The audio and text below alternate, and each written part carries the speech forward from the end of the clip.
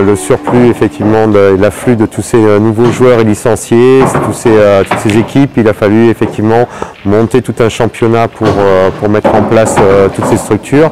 On a fait appel à la Ligue, on a fait aussi appel à des hommes d'expérience. Jean-Michel Delamarche de la Ligue de Bretagne qui nous a aidés pour bien comprendre quelle devait être notre démarche vis-à-vis de toute cette organisation.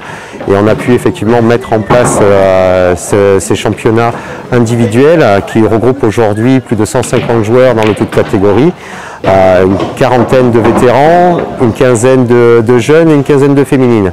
Donc il a fallu monter toutes ces structures, bien comprendre comment, comment travailler euh, ce tournoi sur un samedi et un dimanche pour euh, donner euh, réellement du plaisir à tous ces nouveaux licenciés pour qu'ils œuvrent dans de très très bonnes conditions dans cette salle. La, fédération nous a également bien aidé pour accueillir, pour acquérir en tout cas le parc de 16 billards qui était nécessaire pour un, tel type d'organisation avec autant de nouveaux licenciés et autant de compétiteurs qui, j'espère, demain brilleront au point de vue national.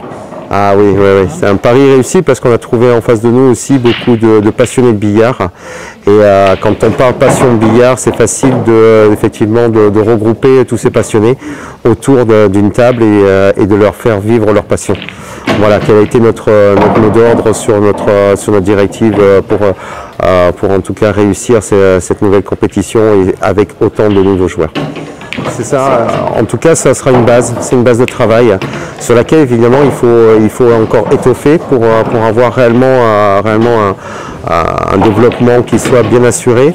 Euh, le système effectivement des billards qu'on déplace et qu'on amène sur différents sites. Et euh, on a été sur Confolant, euh, sur Rochechouart, qui sont aux limites du département et qui sont pour nous des occasions de développer le billard, de montrer aux villes limitrophes et pas que effectivement le, billard, le sport billard existe dans notre région et d'attirer de, nouveaux licenciés.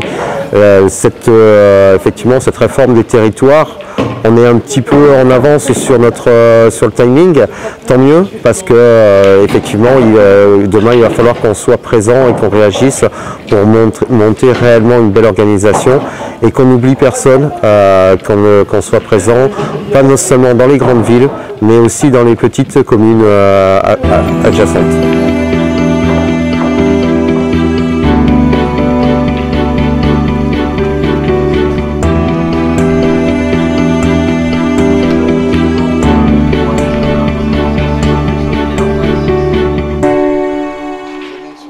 Très vite, euh, puisque l'exploitant de, l'exploitant de, billard a fait basse, euh, donc a fait faillite euh, au cours du printemps, du printemps 2014. Donc donc on a, eu euh, l'information, euh, nous, euh, de notre côté, mais bon, on n'a pas, on n'a pas sauté dessus, on n'a pas insisté lourdement tout de suite. Ce que l'on a fait, au contraire, c'est qu'on est resté à l'écoute, et on est resté à l'écoute justement des joueurs qui venaient de la FEBAS, des patrons de salles qui venaient de la FEBAS, et on leur a donné déjà un maximum de renseignements en off, tout ça, pour leur dire ben voilà ce que la fédération française pouvait leur apporter, la Ligue du Limousin pouvait leur apporter en termes de, de, de structuration, en termes de, en termes de compétition et tout ça. Donc, parce qu'on n'est quand même pas novice, on avait déjà des compétitions qui tournaient. Et euh, progressivement, il y a eu des demandes de réunions qui se sont faites. Et donc, on a fait notamment une, grande réunion euh, à Saint-Junien, hein, sur l'ouest de la Haute-Vienne, où euh, nous avons réuni un maximum de, de, patrons de salle, un maximum de joueurs qui sont venus parce qu'on leur avait dit qu'on leur donnerait un maximum d'informations. Donc, du coup, ils sont venus. Euh, ces informations visiblement sont bien passées et pendant, euh, on va dire qu'à la, fin la fin du mois de juin et au début du mois de, juillet, ils ont décidé euh, non pas de repartir avec un nouvel exploitant à Fébas, mais ils ont décidé de partir avec nous au niveau de la Ligue de Limousin. Ils nous ont fait confiance pour qu'on puisse mettre en place un championnat avec tous leurs joueurs et toutes les équipes qui arrivaient. Donc il a fallu expliquer à ce moment-là euh, ce qu'était qu'un club euh, dans la fédération française, les statuts, euh, les demandes officielles d'affiliation. donc ça a été un énorme travail que l'on a entrepris à ce moment-là avec Laurent Servouz pour pouvoir donner beaucoup d'informations, pour pouvoir les aider au niveau de leur de leur comment dire de, l'administratif hein, tout simplement. Donc leur expliquer les licences, leur expliquer ce qu'était que l'affiliation. Donc tout ça, ça s'est mis en place pendant le mois de juillet. Et ensuite, ben, les clubs progressivement ont, rempli leurs papiers.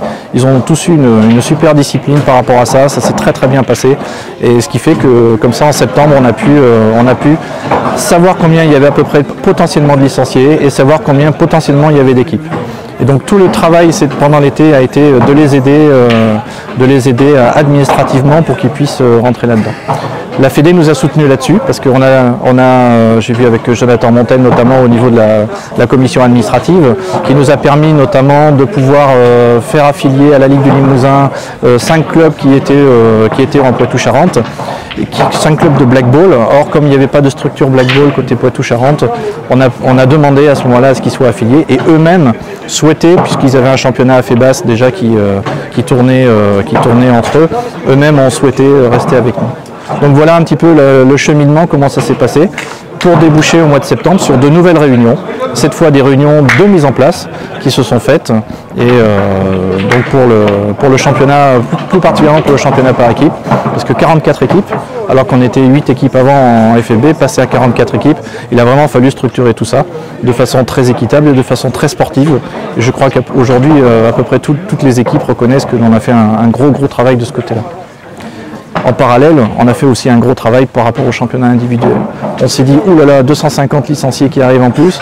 Si tous veulent faire le championnat individuel, eh bien, euh, il y a une nouvelle problématique, c'est qu'on ne pourra jamais gérer ça euh, sportivement dans les salles.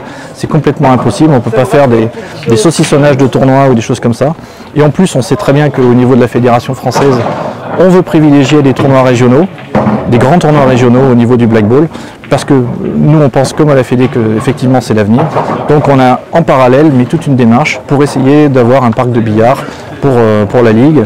Et donc c'est pour ça qu'on a passé un accord avec la Fédération française de billard pour acheter 16 billards. Et on est suivi par la région. Et euh, donc du coup on, fait des, organisations aujourd'hui qui tiennent la route et qui satisfassent les joueurs. Ça a, ça a, été long à mettre en place puisque le premier tournoi on a pu le faire que fin novembre. On n'a pas pu démarrer la saison tout de suite les gens étaient quelque part impatients et tout, et puis, euh, finalement ça s'est fait. Et, aujourd'hui, on en est au sixième tournoi régional. C'est le dernier de la saison. Encore une fois, il y avait 90 joueurs, il y a, les équipes, il y, a, les catégories féminines, juniors, les vétérans. Et je crois que les, joueurs sont, globalement ça tient à associer tout, le, comité directeur de la Ligue, plus maintenant d'autres joueurs, d'autres dirigeants de clubs qui viennent de la FUBAS, qui nous ont rejoints, qui nous aident. Et ça, crée une dynamique et j'espère que cette dynamique va continuer au niveau du Limousin.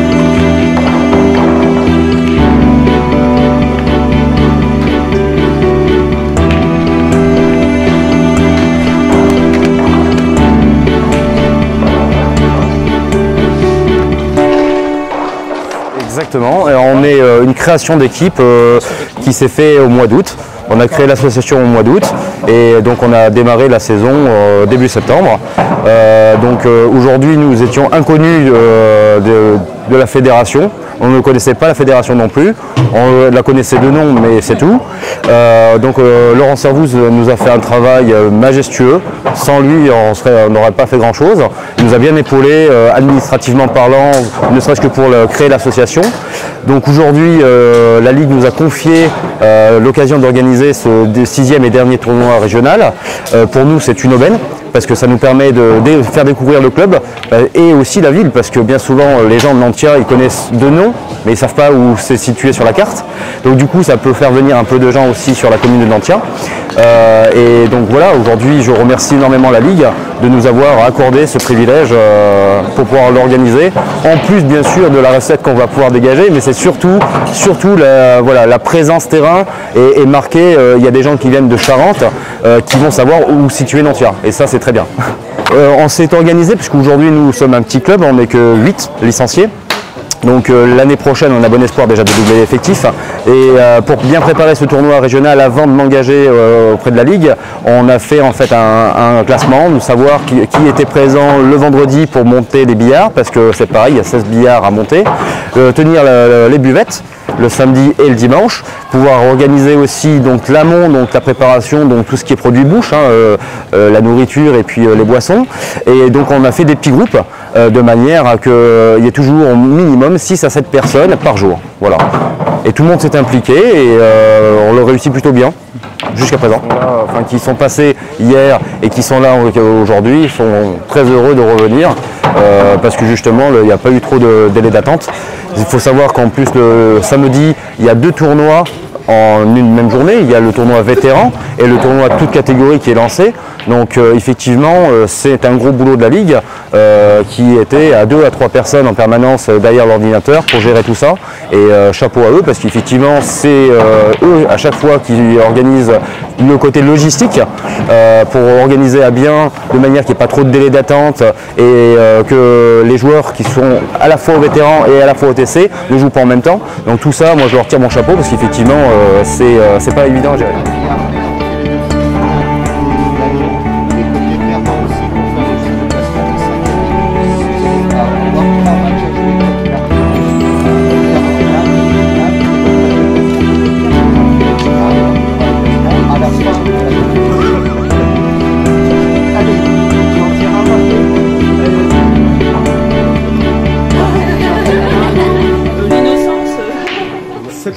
Je viens d'intégrer cette, euh, cette Ligue du Limousin parce que je jouais dans une, dans une, longue carrière de, joueur de billard euh, black ball.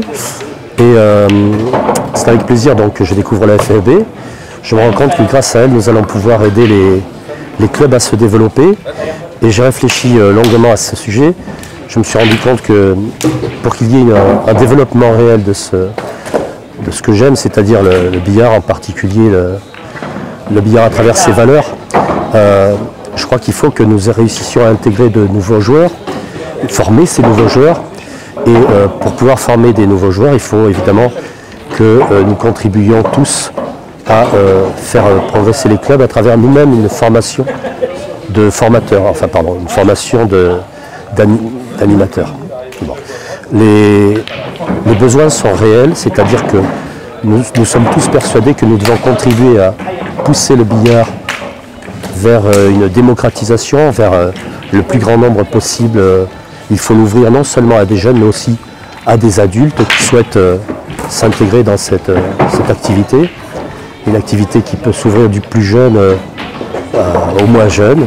Et il n'y a pas d'âge pour apprendre à jouer au billard.